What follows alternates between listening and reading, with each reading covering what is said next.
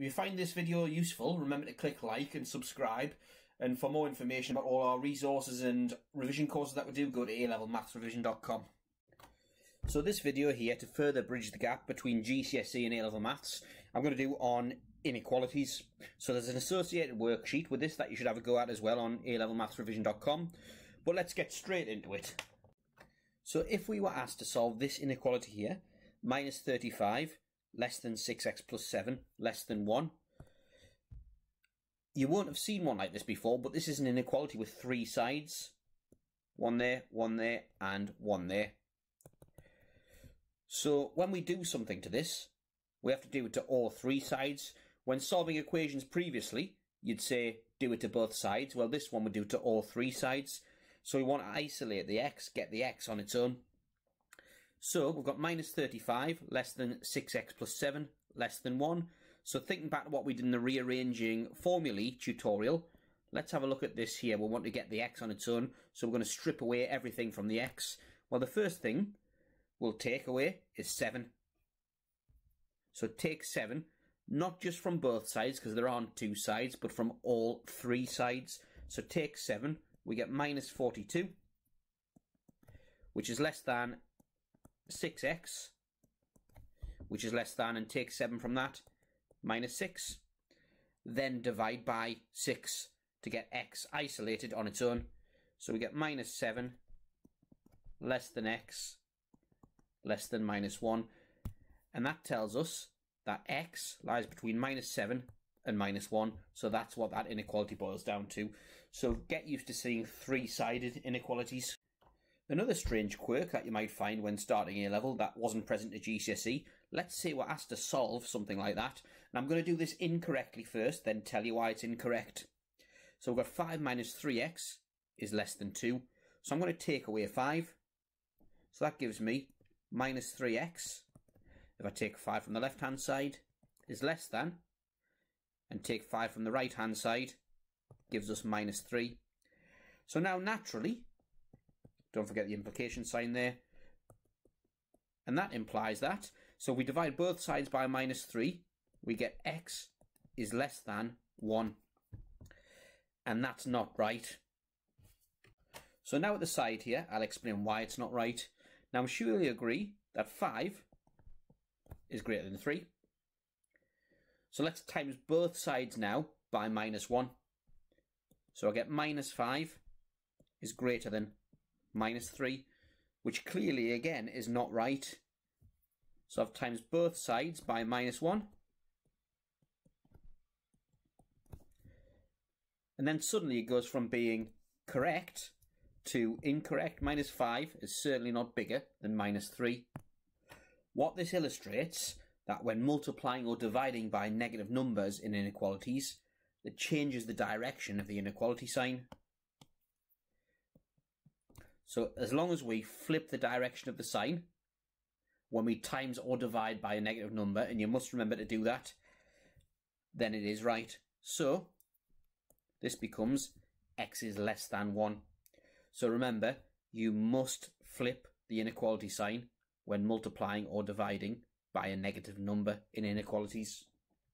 So two things we learned so far. We have three-sided inequalities where we have to do the same thing to all three sides. And when we times or divide by a negative number in inequalities, the direction of the sign must change. Now let's get on to the good stuff quadratic inequalities, and it's really important that you're good at this before you start A level. Anything to do with quadratics is just assumed knowledge come A level. So let's get on to looking at quadratic inequalities. So let's say we're asked to solve this inequality here. We want all the values of x for which x squared minus 6x minus 40 is greater than or equal to 0. So the first thing we should do is try to find the roots of the quadratic. Sometimes these roots are called critical values in this context. So let's do that. Let's try and factorise this equal to 0. Forget for now that it's an inequality. Let's just find the roots of the quadratic, or the critical values, as I said, they're sometimes known. So we factorise that. So two numbers that times to make minus 40, but add to make minus 6. And we can see that numbers that do the job are minus 10 and plus 4. Times together to make minus 40, add together to make minus 6.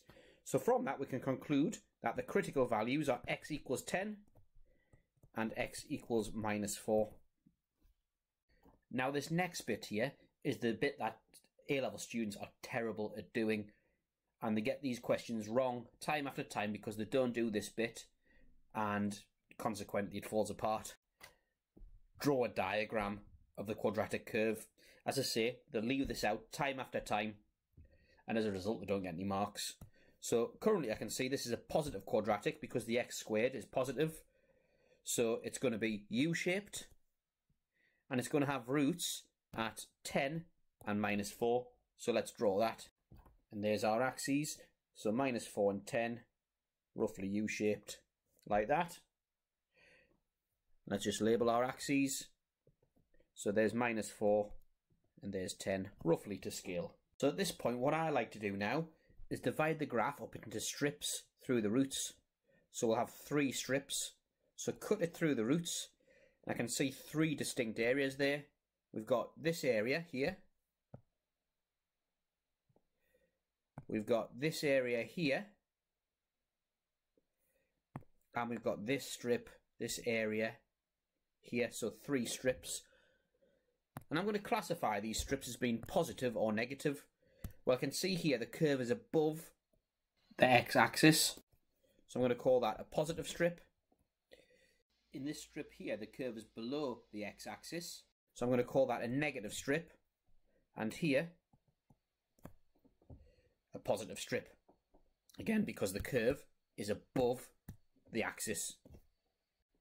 And the next step is as follows, and that is to look back at the original question, the original inequality, and decide whether the positive or negative readings are required. So let's do that.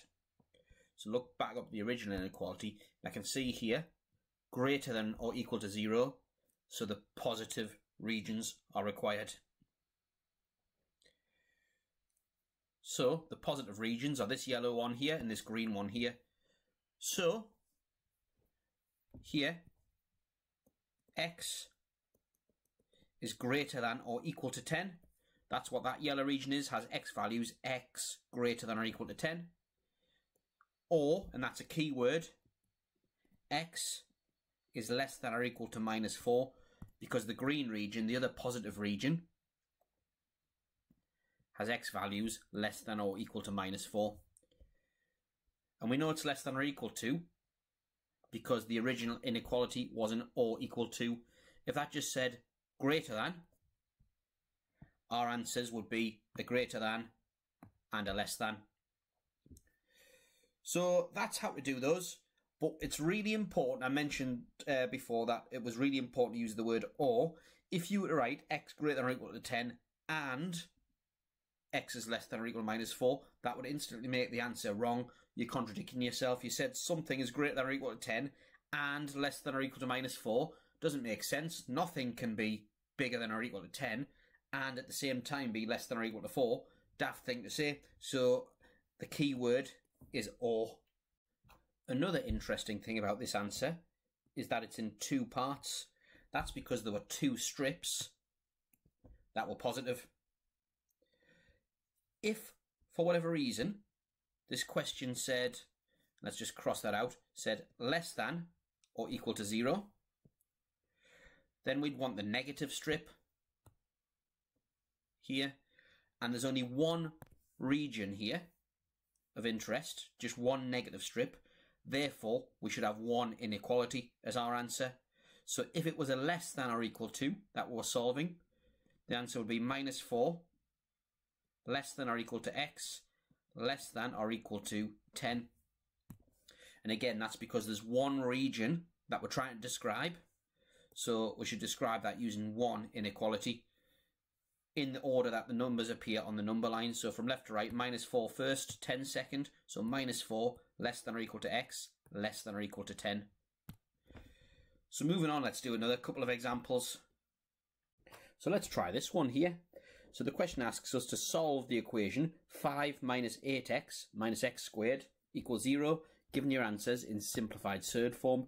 So that suggests either complete the square or use the quadratic formula, and I suggest the quadratic formula, but let's write it in the order um, that you, that we're normally used to seeing a quadratic in first. So we've got minus x squared, the x squared term comes first, minus 8x plus 5 equals 0. Now there's two ways of solving this equation here. We can either use the quadratic formula or completing the square. Uh, we haven't gone through the quadratic formula in these tutorials yet, so let's use completing the square for now. Quadratic formula we'll come to in a later session. So remember from last week on completing the square, minus in front of the x squared, so let's take it out as a factor. So we get x squared plus 8x if we take minus 1 out as a factor plus 5 equals 0. Let's just check, does that actually give us the line above? Minus x squared minus 8x plus 5 equals 0. Yes, indeed it does. So now, so that implies, don't forget the implication sign. Let's complete the square for what's in the bracket. So we get x plus 4 squared minus 16 plus 5 equals 0 and then multiplying out this big square bracket, we get minus x plus 4 squared plus 16 plus 5 equals 0. And if we take this negative term over to the other side,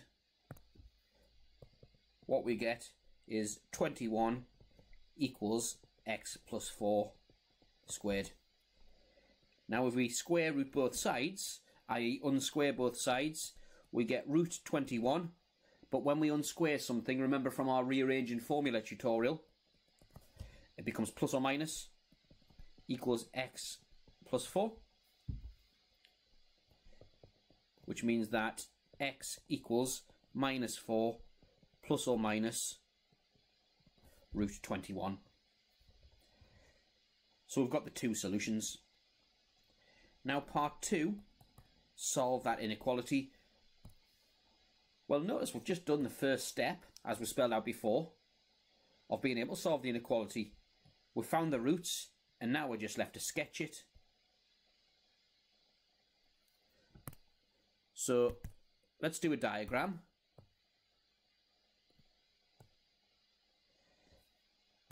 But notice this time, and this is something that can do to try and catch you out, this is a negative quadratic.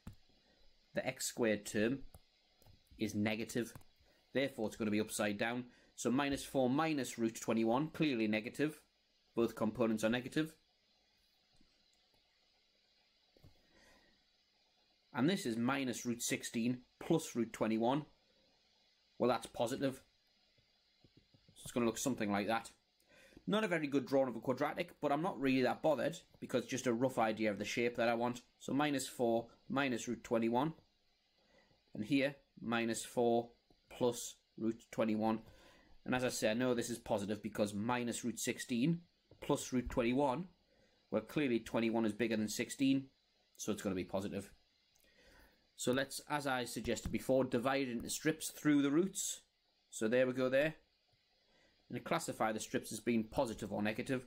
So I've got a strip here. I've got a strip here and one here. So in this strip, the curve is below the x-axis. So this is a negative. Here, the curve is above the x-axis, so it's a positive. And here again, it's below the x-axis, so it's a negative. Now in the question, we want the negative strips, and it's a less than or equal to, so our answer is going to be an, or, uh, an or equal to as well. So I can say here now, all these x values for this green strip here are where x is less than or equal to minus 4, minus root 21, or keyword x is greater than or equal to minus 4 plus root 21 and there's our solutions to the inequality. And finally, let's do one more, another example of a question that's trying to catch us out. So 3x squared is less than 48. Now with a question like this, there's a temptation and I'm about to do it incorrectly here. I'll do it the side incorrectly. So divide by 3, I get x squared is less than 16. And if I root both sides, I get x is less than or equal uh, is less than plus or minus 4. Now to find this answer here, I completely ignored my previous previously spelled out method of finding the roots of the quadratic, drawing a diagram, um, and then looking at the diagram to decide what whether we want the positive or negative regions. And basically, I've got a wrong answer because of that. You'll see why that's a wrong answer when I do it properly. But first of all, we've got to turn this into a quadratic so we can use a quadratic method. So 3x squared minus 48 is less than 0. And I can divide by 3 now. So that implies that, which implies that x squared and 48 divided by 3 is 16. So x squared minus 16 is less than 0. Well, that implies that if I factorise, it's the difference of two squares, x plus 4, x minus 4 is less than 0, leaving critical values, x equals minus 4, or x equals 4. So now if I use that to sketch the graph,